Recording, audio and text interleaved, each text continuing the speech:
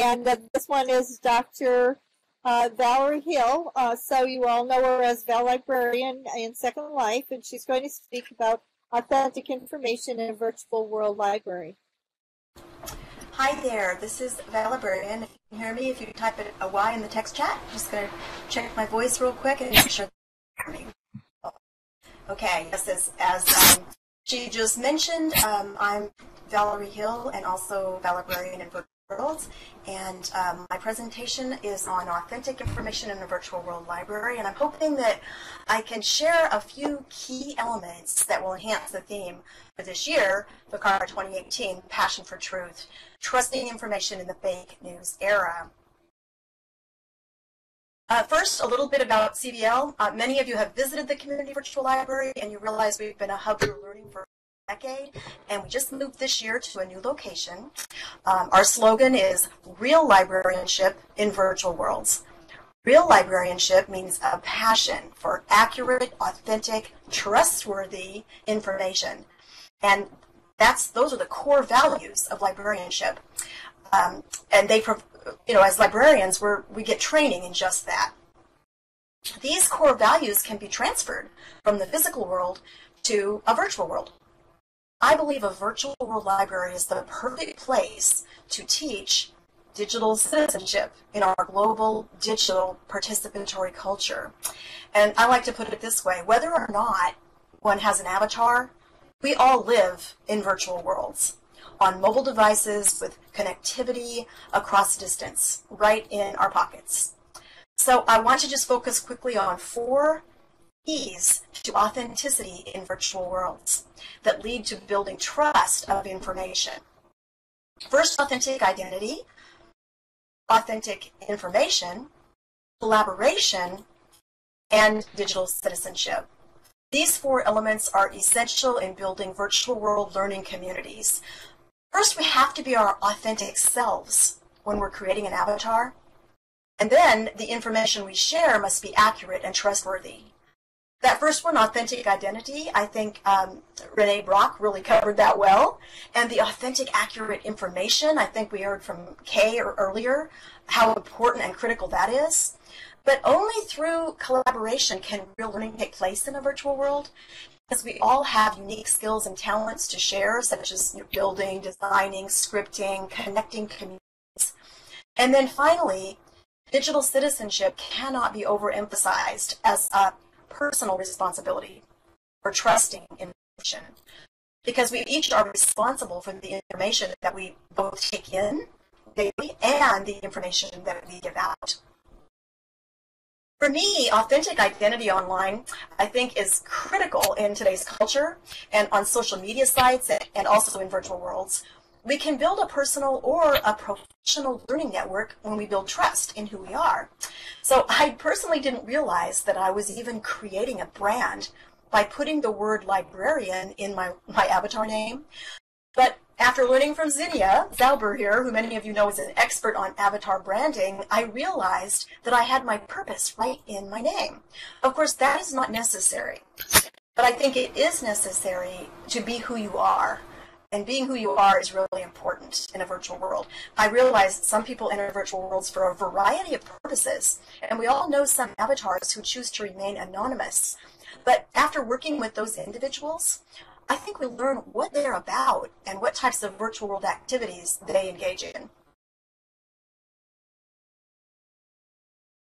An example of authentic identity took place at the ACRL Virtual World Interest Group um, session recently on genealogy. We had a librarian from the Kentucky Historical Society, I believe she's presenting here at VCARA this year, and she shared ways to learn about genealogy literacy in a virtual world.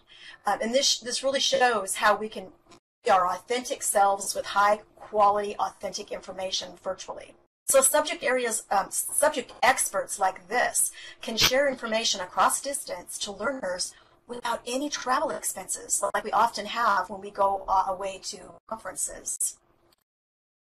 Authentic and accurate information can be trusted when specialists and subject experts bring content into a virtual world. In February, at ACRL, our presentation was on cybersecurity, and internet security experts shared tips and resources. There are other ways that virtual world librarians can help learners find authentic and accurate information through providing peer-reviewed content and through providing a balanced collection that meets the needs of various, various digital citizens, just as librarians would in a physical world. Authentic avatars are those who make their credentials and their skills and their talents known. At the Virtual World's Best Practices in Education conference this year, in March, I presented from a librarian's perspective along with the Community Virtual Library's graphic designer. And together we illustrated the importance of sharing our unique skill sets as we pool them together to design and build not only our library space, but also the research center that we built this year for the Dickens Project. Real research can be presented virtually when we can trust our authenticity. Creating a professional learning network across the globe makes this possible. So collaboration collaboration is essential in virtual worlds.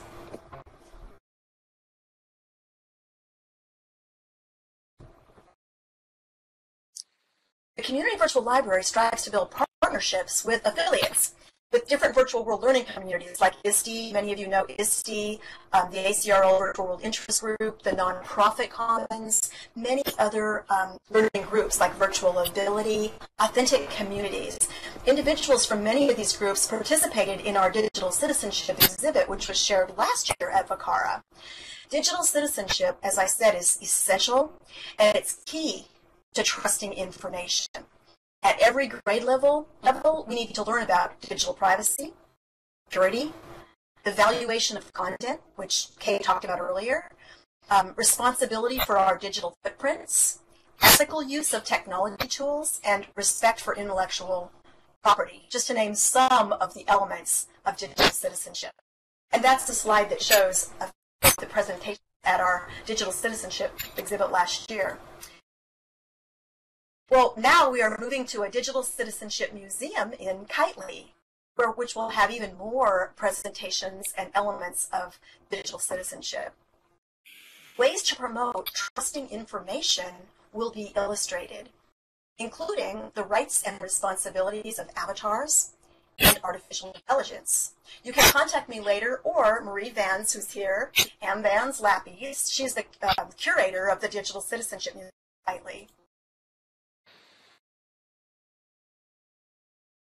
Yes, we are expanding, but our home base will continue to be in Second Life in Library Land, uh, a real library in a virtual world. And our mission statement is as follows. The Community Virtual Library is the hub that connects digital citizens in virtual worlds with information and resources they. As I said, virtual worlds provide a sense of a presence which goes beyond web pages and classroom management systems, but connecting people that's what's key in virtual worlds. And authentic information, both the intake and the output, is a personal responsibility.